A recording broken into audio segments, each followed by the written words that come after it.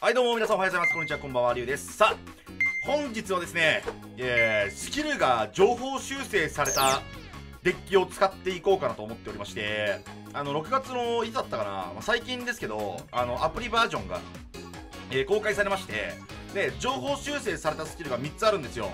で、えーと、今回のテーマは痛みだっていうほど意味わからんスキルは情報修正でもなんでもないんで。まああの一回無視しましてこのイラッとするぜとマジシャンガールズは割と強くなったんですけど、えー、マジシャンガールズについて、えー、今日は使っていこうかなと思ってましてでどういうスキルだったかっていうと自分のフィールド上に存在するマジシャンガールモンスターの攻撃力はその数かける300ポイントアップすると。だからまあ常時粉砕みたいなあのことができるんですね。だからまあ2体いたら600上がるし、まあ、3体いたら900上がるっていう感じなんですけど、えー、とこのキルもともと100ポイントだったんで300ポイントになったっていうことは結構強くなったっていう話なんですけども、えー、じゃあどういう風に使っていくかと。えーとねデッキはねこちらですね。あのー、皆さんね召喚獣とかと合わせるのが結構主流だと思うんですよ。マジシャンガールって。あのもともとマジシャンガール召喚獣っていうデッキ強かったんで。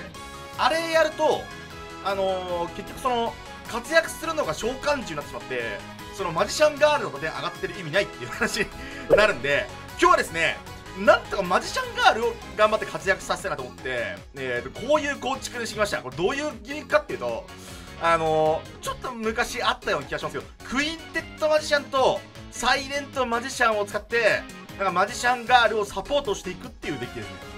回った時すげえ楽しいんですよねこれ。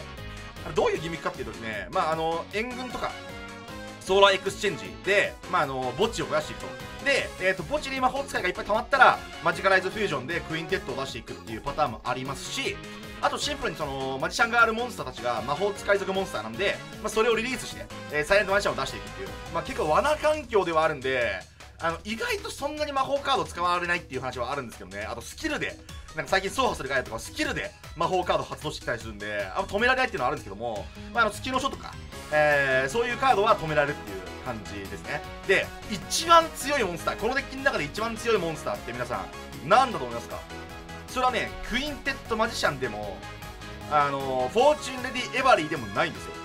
これ何が一番強いかっていうとキウイマジシャンガールがね一番強いんですよ。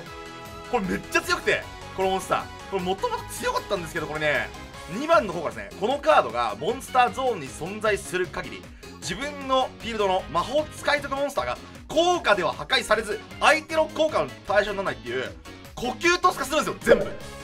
全員を呼吸トス化してるっていうめちゃくちゃ強いんですよ。でこのモンスターをあの結集とか、まあ、アドバンス召喚とかで出していってキウイマジシャンガールでビートダウンするっていうデッキですね。マジシャンガールズバーっていう名前ですけどこれマジシャンキウイマジシャンガールビートと言い換えてもいいですこれは。はい。早速ですね。あのこのキウイマジシャンガールビートの強さをね見せていきましょう。デュエル。スタートさあガイアかな？結構ねガイア使う時の、まあ、多分ガイアだと思うんですけどガイア使う時のおすすめなんですけどあの闇遊戯使った方がいいと思います。あのディスティニードローもあるんであの人。結構相手の敵分かんなくなるんですよ。3癖なんだこれ？ガイアじゃねえのか。結集。ほう。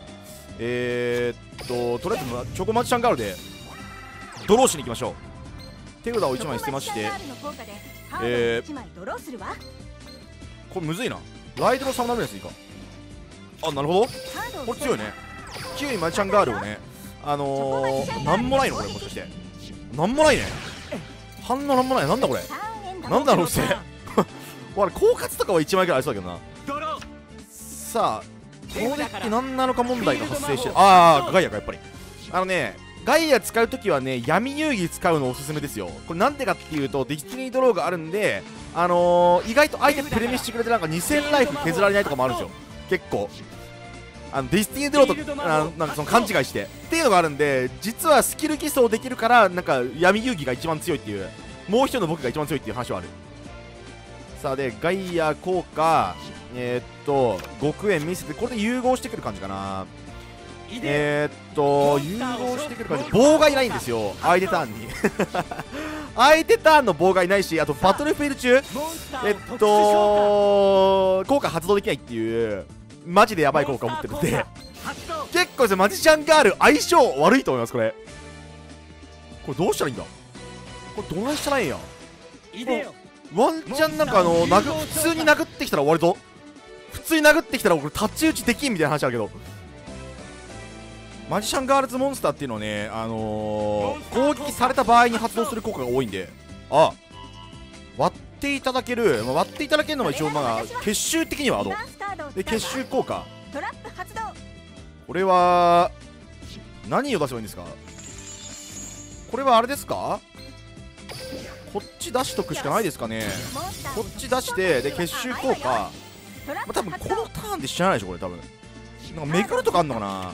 あのー、めぐる入ってる人いますよね。あのー、あと聖杯とか。めぐる聖杯は入ってる人多いかなっていう感じがしますね。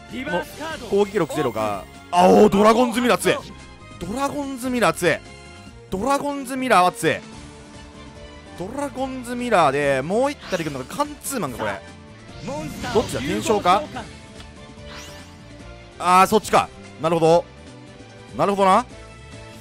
うーんとこのあの伏せ2枚なんだろうな。あの伏せ2枚なんならか問題発生するんだよな。はいはいはいはいはいはい。いいですよ。でえー、っと龍馬の騎士ガイア効果で打点5200やばい。打点5200やばくない？私のターンドロー。あの癖なんだろうな。目黒とかかな、ま、目黒とかそっち系はあるかもしれないですね。だとしたらこれ結集してフリーチェーンで割られるとちょっと出せないから。これアドバンスか？これこれ実はさこれ9位であれゼロぶん殴ったら勝てる説ない？これ。これこれキウイビート始まるか？これ。伝説のキウイビート。これ2100でゼロ殴ったら勝てんじゃん？これこれ対象取れないんですよもう。あの俺のモンスター。これ包括とかありそうだよな。これさ結集でさルミナス蘇生してなんかライデン蘇生しできねえからこれもうそのまま殴れていいんじゃんこれ。これだからこれでいいのでは。意外と狡猾だ来たこれ対象取れないですよ。私キューマちゃんガール来た神ゲーか？え？勝った。勝った。勝った。第3部完え？なんか俺も困惑してるけどキウイマジシャンガールめっちゃ強いわ。最強か？さあお相手の方。アンチョミ君ね。アンチョミ君セットデルタアクセルね。なるほど。セットデルタアクセル12枚ずるいよな相手だけ。エクストラデッキ増やしすぎなんだよなあいつおでも弱そうだな。行くわよ。私のターン12枚ってこっち7枚だぞ。なんで5枚も多いんだよ。おかしいだろ。手札から。1人だけ、まあとりあえずソーラーエクスチェンジを発動するわ。ソーラーエクスチェンジ効果。はい。なるほど。で援軍発動入ってえー、っとまあライデン落ちてるんで一応ルミナス持ってくるか。一応ルミナス持ってきてでただねこれねこのデッキね召喚剣はね割と使うんでね、まあ、2体展開パワッとはできないんですよね、まあ、決しないと。でベリーマジシャンガール効果これベリーマジシャンの方が強いんですよね。だからそういう時は。あの対象取られるとまた新しいやつ出せるんで。あの例えばここでルミナス召喚してルミナスに妨害食らうとか何もできないじゃないですか、まあ、一応サイムレントマジシャンは出せますけど。なんでちょっとそういうのをケアするために一回ベリーマジシャンで様子見るっていう話はあるんですよね。これでね一旦エンドしとくと多分そんなにやばいことは起きない。ベリーマジシャンで一応出せるからなんか何らかのモンスターをさあで、えー、と最初取られるとまあなんかセット出るダークサイだから多分まあファルバードキャノンとかあの辺出してくるんだろうけど。あーとハハーピーチャネラん？どういうこと？どういうこと？これスキル偽装しすぎだろ。どういうこと？意味が分かんないの来たぞセットデルタアクセルってさ見せてやろう。あ別にいいのか。メインデッキは縛られてなか。なるほどな。モンスター効果これなんかエクストラデッキこれシンクロ召喚できるようになってんの？これなんかチューナー入ってんの？それともスキルを掘ってんの？これどっち？わからねえ。謎すぎる。なんかあれか？今流行っ俺なんか最近全然そのデュエルリンクの情報分かってないんですけどなんかセットデルタアクセルハーピーってのがなんかあるんですか？デッキで。ちょほんとあなんかすごい強いデッキだったらすいません俺は知らねえ。俺は見たことがねえ。でシンクロ召喚か。なるほど。はいはい。でハーピーレディースクラッチクラッシュ。はいオッケー。やべ出てきたの普通だった。出てきたのは普通のモンスター。セットデルタアクセルの意味とは？果たして。さあこれで、えーとまあ、一応対象取られるとなんか新しいの出てこれるんで、まあ、そんなに怖くないかなっていう。でしかもベリーマジシャンガールは、えー対象取られるかもしくは攻撃されるとね表示形式を変更しながら、えー、とデッキからマジシャンガールを出してこれるのでなんかキウイとか出してこれるんですよ。それがめっちゃ強くて。あーでもねこれこれこれねえ対象取られたらベリーの効果発動してえーっとベリーでキウイ出してくれば多分ねさすがに耐えると思う。あのー対象取れないので大体ハーピー対象取る効果しか入ってないじゃないですか。デッキの中に。たまにライトニングボルテックスっていうねやばいカード入ってる人いますけど、まあ、あれも引かないんでキウイマジシャンは。なんて言ったってね全員呼吸としたんでね、まあとりあえずキウイが一回ほっといてでベリーマジシャンガールは戻されるけど、えーデッキからキウイマジシャンガールを出してくるともう相手は実はこれでこれでですね対象取れないし効果破壊できないんで意外と困ると思うんですよね。だからそのこのキウイマジシャンガールをなんかそその処理するためには打点で抜くくらいしかほとんどないと思うんで、まあ、選んで破壊とかも無理だし。あ選んでバウンスと選んでデッキにバウンスみたいなやつは多分効きますね。それくらいから選んで除外カートゲーテとか。ゲーテエバリーとかは効くけどあと他多分大体ほとんど効かないから。OK よし。バトル。攻撃だあー。なるほど。これはぶん投げても勝てないからこれ受けるしかない。これでスワローズネストあったらおしまい。スワローズネストあったらおしまい。なんかありそうだな。なんだ？スワローズネストあったらおしまいよ。もうそれはもう諦めるわそれはねもう負けでいいです。僕の負けでいいです。あ大丈夫だ。オッケー。エンドフェーズ入った。よしよしよしよし。耐えた耐えた耐えた。耐えた。だ耐えたけど耐えたけどベリーするしかないんだよな。これ多分。耐えたけどベリーするしかない。いやーこれ。これベリーでまた耐久するしかないのか俺は。こうするしかねえ。でベリーマジシャンガールの効果を発動していくでベリーマジシャンガールの効果を発動しえー、っとだから、えーっと種類増やせばいいから種類増やせばいいからえーっとこれ手札を余らせといて捨ててでえーっとこうしといたら種類増えるからこれで多分ねえっとね123種類だから32が6えー、っと6だから2700ですね。えっとキウイマジシャンガール出てきた場合これ2700になるんでこれセットデルタアクセルだったら多分抜けない。モンスターをエクシーズ召喚エクシーズ召喚もいいわ。で、えっとデッドレーシーン出てくるでしょ？でデッドレーシーン出てきてデッドレーシーン効果で除外してくる効果にチェーンしてキウイマジシャンガールがまた出てくる。でえー、っとだって最高打点が2700なんで2700を超えられなければなんとかなります。デッドレーシーン OK で、えーベリーマジシャンガール効果。さあ自分をえー、と横にしてはい。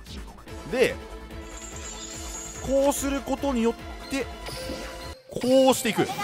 はい。でだ。これで2100でダメして、えー、と600上がるんで3種類いるから。えー、っと2700なんですよね。2700ってことはこれ絆の力じゃないんで。しかもなんかあいつもいねえし。これで終わりだ。いける。なんかいけるかもしれねえいけるかもしれねえ。これなんかキウイピートとかいうなんか謎の謎の戦法で勝てるかもしれねリバースカードオープン。えあ清掃いや俺聞かないぞ。それ俺聞かないぞ。お前自分下げるしかないぞ。来たわ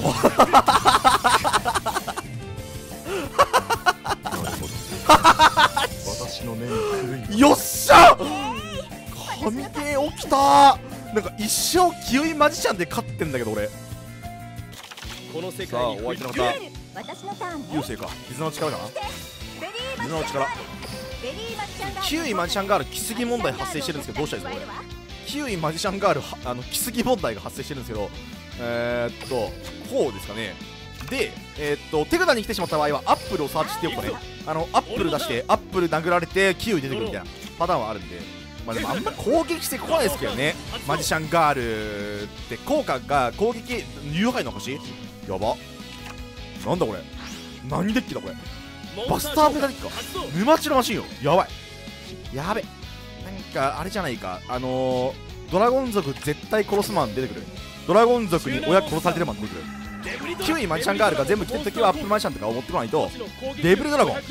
デブリドラゴン。なるほど。優勢してんのお前優勢してんな347シンクロやばい。ちょブラックローズだけやめて。ブラックローズだけやめて。冷たい炎が。やばい。冷たい炎が来た。ちょ助けねー。いやでもゆ超関係は使ったね。融合は使ってるけどこれ言ってさ、まあ、竜界の証で融合。はいはいはいはい。えでもまあ竜界の証そんな効かなくない？なんかあのー、別にドラゴン族じゃねえし。いモンスターを融合召喚。やパラディン。やば。カードにやっばやばいやばいやばい。え？ガン決まり。おじさんじゃん